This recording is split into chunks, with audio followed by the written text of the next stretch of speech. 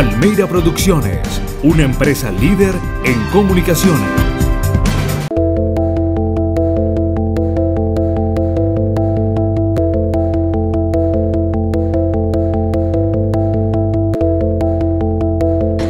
Hace dos semanas aproximadamente el director del INDER y la alcaldía, por supuesto, eh, nos quitaron el espacio de nuestro entrenamiento por cederle el lugar a las chicas de patinaje, ignorando que somos muchas más personas que entrenamos voleibol y sin embargo ni siquiera eh, fue pedido nuestro consentimiento, no, no se nos tomó en cuenta.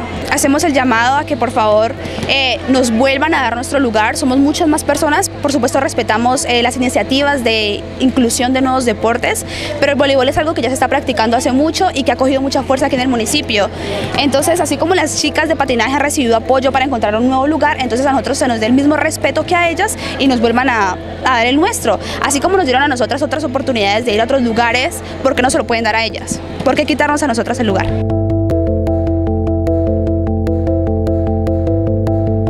Contarles que en mi opinión ha sido lo que nosotros llamamos comúnmente un teléfono roto eh, de pronto ha habido falta de comunicación y, sería pues lo más correcto poder aclarar el tema.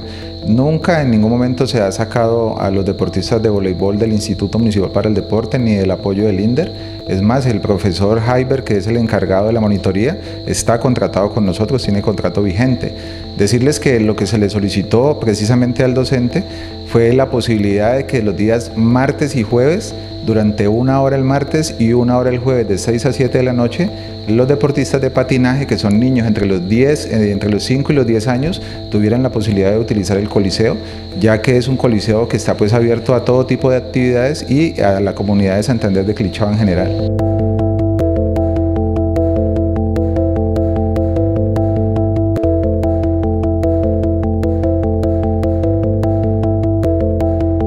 Sí, señor. Eh, las niñas tienen la inconformidad de que en este momento nosotros vamos a realizar una práctica deportiva de patinaje. Lo que ellas nos están mencionando es de que nosotros tenemos permiso del director del INDER, don Harold, que él ya habló incluso con el profesor de ellas de voleibol.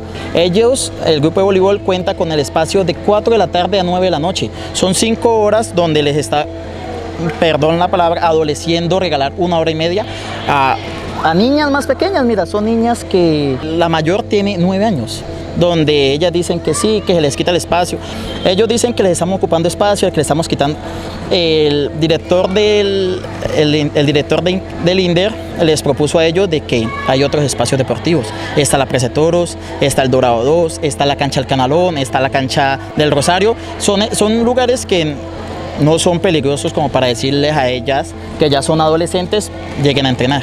Son lugares que, para empezar, no están al mismo alcance que tiene el polideportivo, por supuesto. Además, el Rosario ya se encuentra ocupado y sería muy injusto hacerle lo mismo a otras personas que lo que nos hicieron a nosotros. Entonces, este es nuestro lugar, aquí hemos entrenado siempre y pues no, no lo pueden quitar así de fácil. Entonces, por eso tomamos estas medidas, porque en realidad nos importa y simplemente era como que nos corrían el horario, pero hay muchas chicas pequeñas que no, las, no les permiten entrenar hasta muy tarde.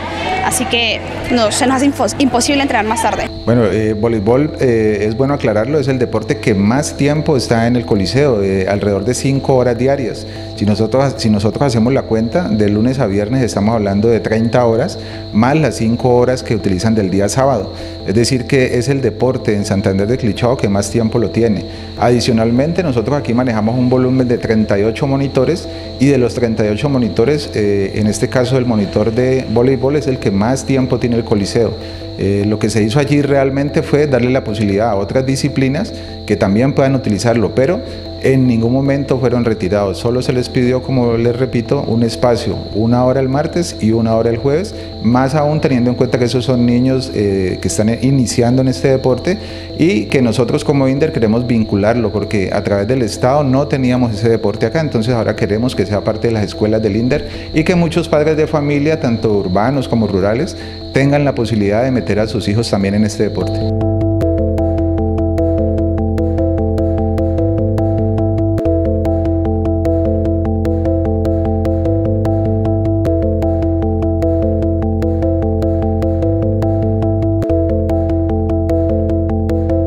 Nosotros abrimos un espacio el lunes pasado con unos padres de familia, con el profesor Hyber también. Eh, ese espacio estuvo encabezado por el, padre de familia Orlando Troches, quien eh, en, conversación llegamos a unos acuerdos. Esos acuerdos son eh, muy simples pero muy efectivos, como por ejemplo que los muchachos de voleibol eh, en cabeza de su profesor, van a dar la clase del día jueves, que realmente es la que interfería en su calendario, una hora más temprano. Es decir, que los días jueves ellos van a estar en la iniciación de clases de 3 a 4 de la tarde. Ese es el cambio que surge, que se da en voleibol para que los niños de 6 a 7 puedan utilizar el espacio.